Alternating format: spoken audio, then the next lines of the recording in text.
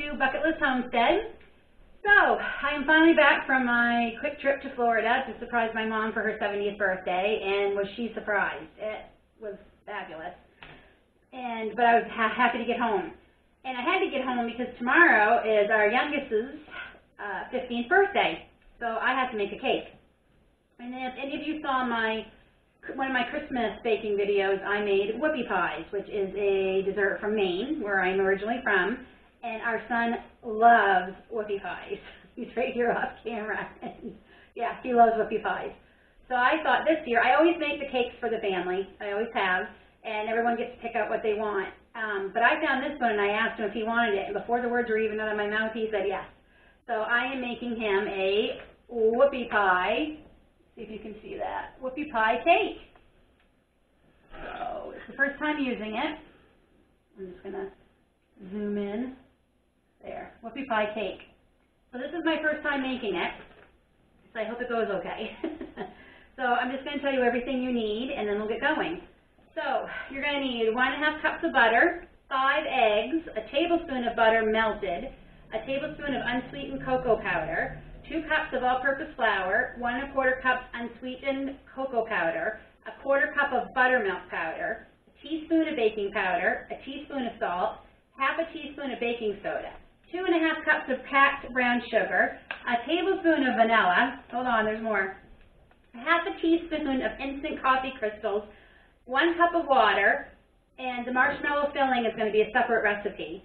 Um, and the chocolate glaze is a separate recipe. So we'll just concentrate on the cake right now, and then we will do the other things when the cake is cooled. So the first thing I'm doing is I have a bundt pan here with the fluted pan.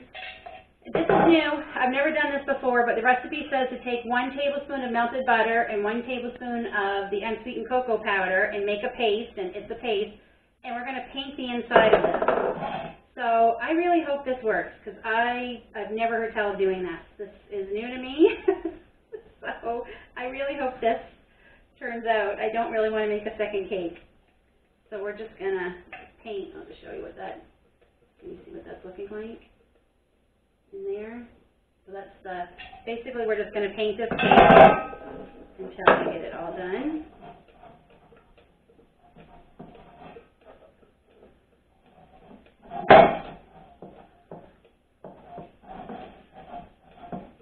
We also have a tradition on our birthdays that everybody get anybody whoever's birthday it is, they get to pick what they want for supper. Whether that's me making something or they're allowed to get takeout or go to a restaurant. So he's still trying to decide, and I hope he makes up his mind soon. Um, I think I have an idea. you have an idea? Okay. He uh, many of you know he has some dietary issues, so it's a little bit harder for him. Typically, we end up going somewhere that we all like and getting him something different for takeout. Like we'll get, we'll go somewhere for takeout, like for fish and chips, and we'll get the fish and he gets the french fries. all right, I almost have this done. So I'm going to do the middle part too. It's almost too thick. It is hard to paint it.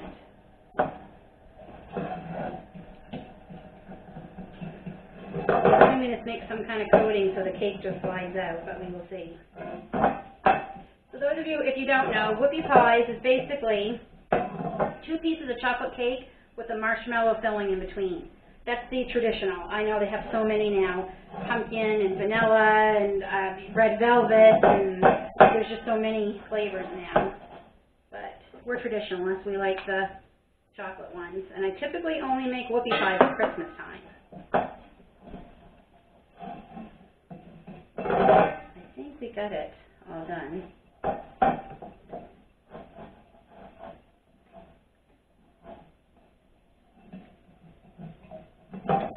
I think we're good and coated. I still have a little bit left.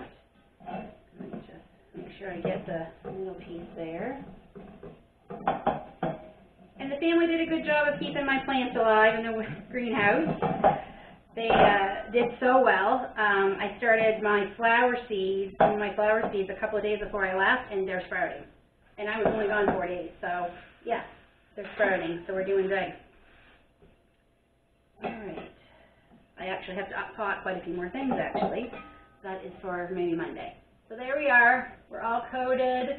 And I got the inside here too, the, good catch, this part here. So we're just going to set this aside. And right now, the oven is on 325 degrees. So I'm just going to set this in the sink. Or on the counter, I guess, for now. Okay. I got a new camera that I'm trying. So if it's a little bit jerky, I apologize. So I have a little, there we go. So I have a separate bowl, so we're going to start our dry ingredients. So this is the two cups of all-purpose flour.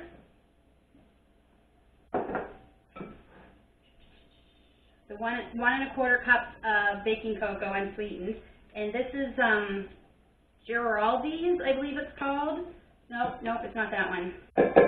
I honestly can't remember, because I buy it in bulk and then I put it in the container. But it's really, really, really, it makes fabulous chocolate cakes. So, um, it's the kind you can get at Costco. If I can remember, I'll, I'll put it in this video underneath here. I'm trying to remember the name of it and it's just gone. Okay, so that's one and a quarter cups of cocoa, and this is buttermilk powder right here. That's a quarter cup of the buttermilk powder. Baking powder, salt, and baking soda are all in this bowl. We're just going to put those in. And that's it, and we get a stir, which I forgot my spoon. Stir this up. Oh, it smells good. Oops. And I'm going to move over to Maeve, my kitchen mixer, aid mixer. I told ya, I bake like I garden, I make a mess. Okay.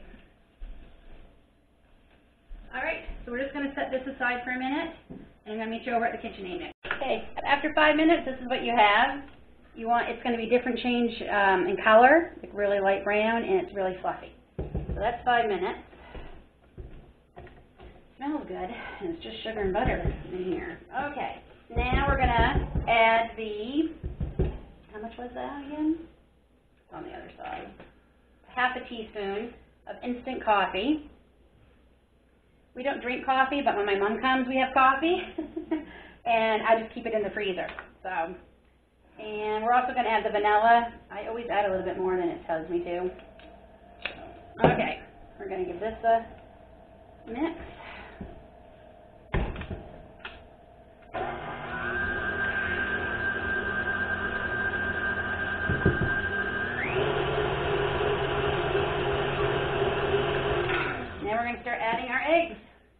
So gonna add them one at a time. You know, I'm just gonna use this bowl, that's the coffee.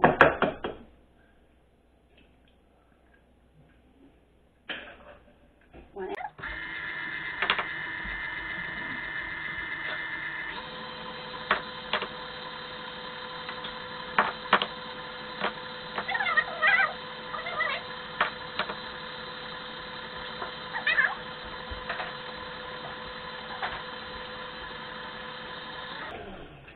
And we need to scrape everything again.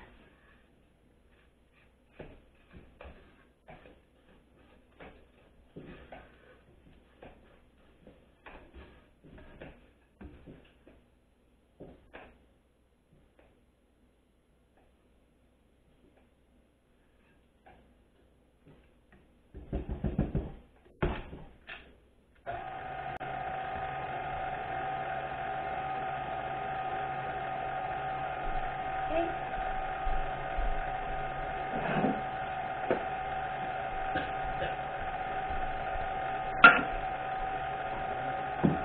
Okay, I'm gonna add a third of the cocoa mixture, not one third at a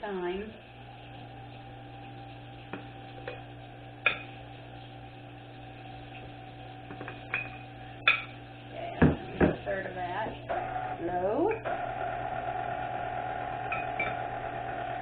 Oh.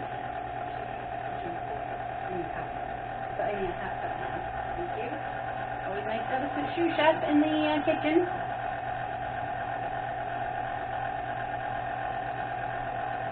And that's half a cup of the water.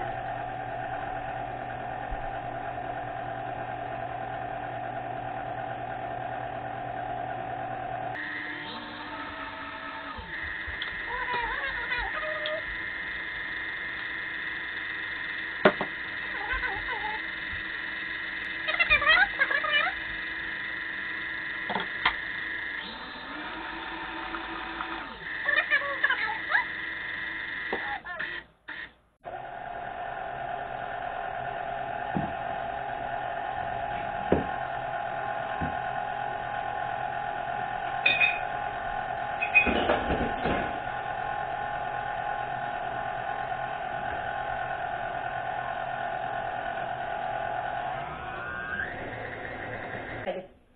I think I know why Aiden's sticking around downstairs, 'cause he knows the birthday person also gets to lick the spoon in the bowl. That should be good. All right, Aiden, do you wanna lick the beater? And tell me what you think? Let me get all that I can off for your cake.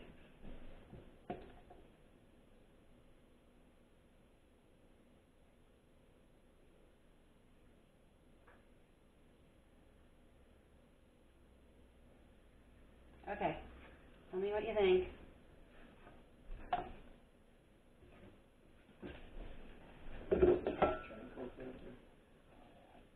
So this is what we have when you're done.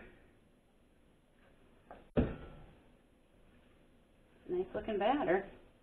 So this recipe is from Midwest Living and it says Karen Cope of Minneapolis won a blue ribbon at the Minnesota State Fair for this stunning chocolate and marshmallow cake based on whoopie pies. They call whoopie pies a cookie in this recipe, says they're based on whoopie pie cookies. We don't call them cookies in Maine. so, they kind of have their own designations. They're whoopie pies. And there's some mix still at the bottom there that I gotta get at. Whew. Okay. All right. That's all of it. Get our front pan back.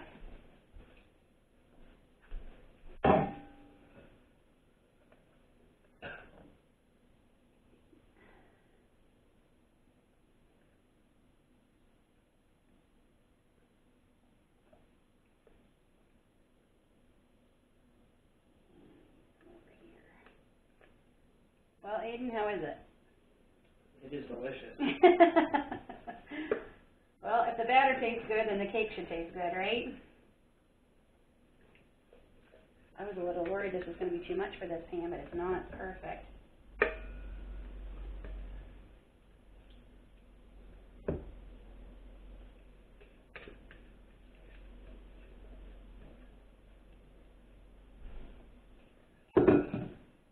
Just gonna spread this around a little bit neater.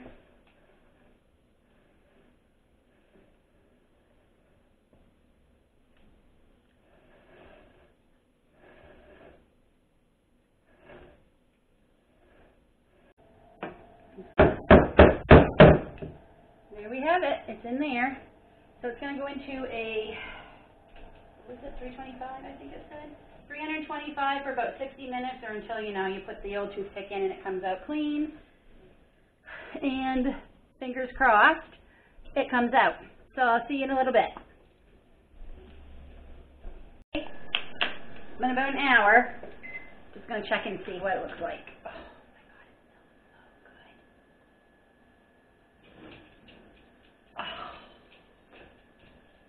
Oh. Look at that.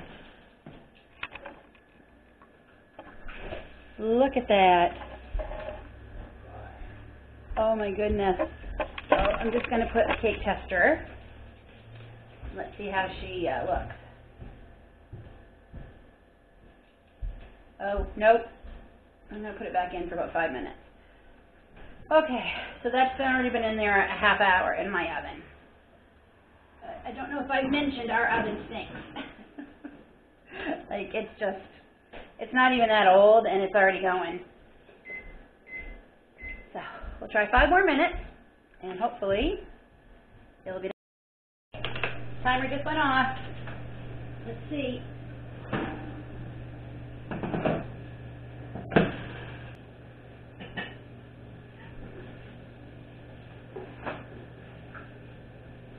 All right.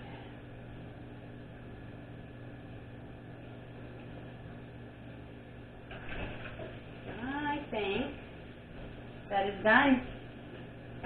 So it took sixty-five minutes in my oven. So we're gonna let it cool for ten minutes in the pan. And then take it out, and I hope, well, it doesn't seem to be sticking, so maybe that weird chocolate paste thing works. I don't know, we'll see.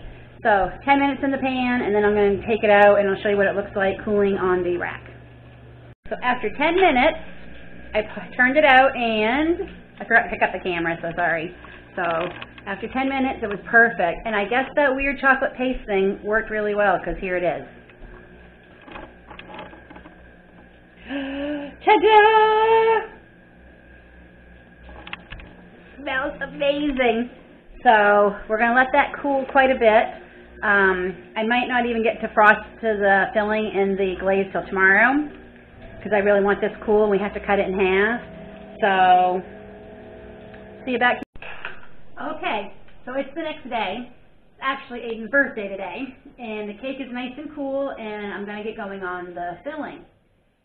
So, for the marshmallow filling, you need powdered sugar or icing sugar, depending on where you're from, what you call it. Um, you're gonna need one, and I believe it was one and a half cups. Yeah, one and a half cups. One and a half tablespoons of vanilla. Got my homemade vanilla. Three-fourths cups of softened butter, and I just, uh, mixed it on with my uh, handheld mixer here for a few seconds, just to kind of whip it up a bit to make it a little bit smoother. And the secret ingredient, yeah, marshmallow slot. Okay, so, we've got, I, I also sifted the powdered sugar, uh, you don't have to do this, the recipe doesn't tell you to do it. I just find whenever I use powdered sugar, it's better if it's sifted. So, in here I have the powdered sugar, and I'm going to add one seven and a half, seven and a half ounce jar of marshmallow cream, which basically is, this is the whole jar. This is seven and a half ounces. So we're gonna get this in here. This is the tricky part because marshmallow fluff is insanely sticky. And I actually bought this on my trip to Florida, and I'm using it already, and I knew it was gonna come in handy. Oh. It's like a spatula on one end and a little bit of a spoon on the other. Okay. Let me take a bit.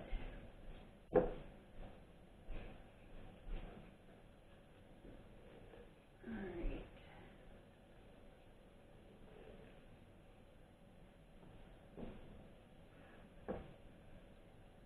Then I'm gonna add the butter. That was three-fourths cup of unsalted butter.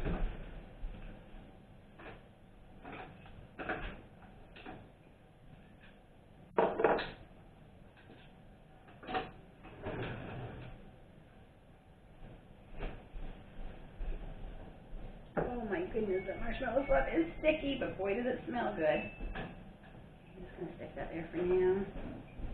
And one and a half tablespoons of vanilla.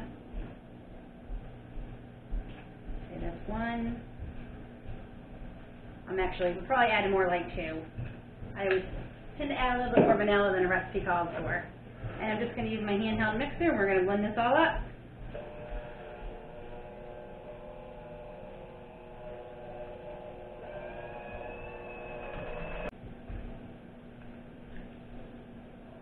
Oh my goodness, that is really good. Definitely doesn't need any more sugar. It is a little bit sweet, but the cake's not very sweet. Um, when we, we all tried a little bit of the batter last night, and the cake itself wasn't very sweet, so. All right. Make sure I get it off from the bottom.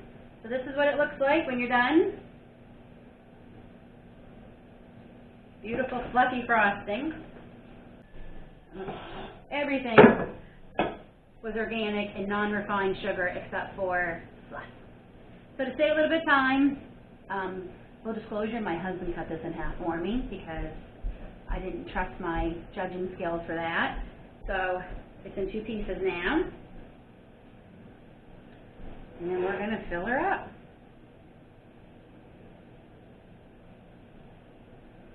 Honestly, it looks like this is too much filling for this one cake, but we'll see.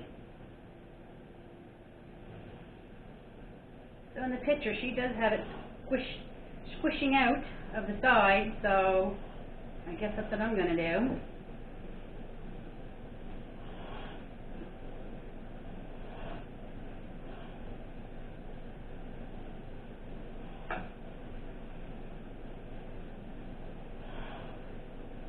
Debating about whether or not put this in the refrigerator till it's time. There's also a chocolate glaze that goes on top that I still have to make.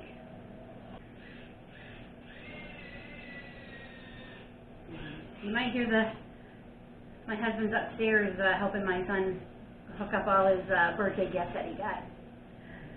So, that might be what you're hearing. Well, I'm pretty much gonna use all of it. Okay. It does smell like a whoopie pie.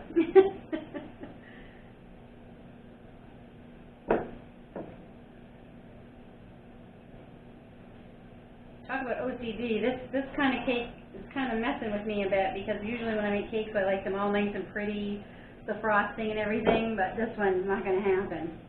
So we just put this back on top. It's falling apart, and there we go.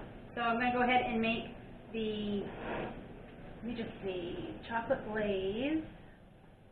Chocolate glaze is just heavy cream that you warm up and you add a third cup of semi-sweet chocolate pieces.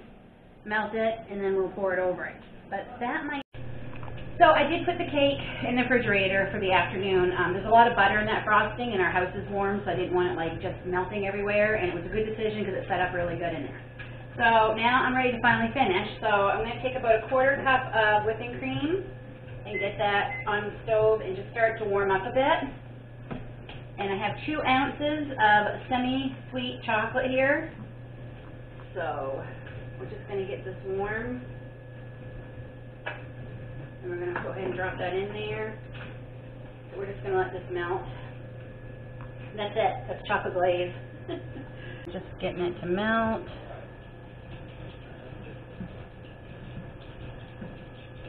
Once this is softer. I probably should have broke the chocolate up a little bit, it would go quicker, but I'm on a time crunch because I'm going on and doing a live in about a half hour, and I want to get this part all done. Oh, we're almost soft enough that I can take it off the burner.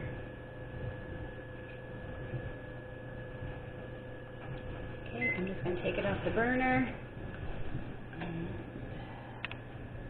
It up. Looks like. Smells good. Smells like hot chocolate.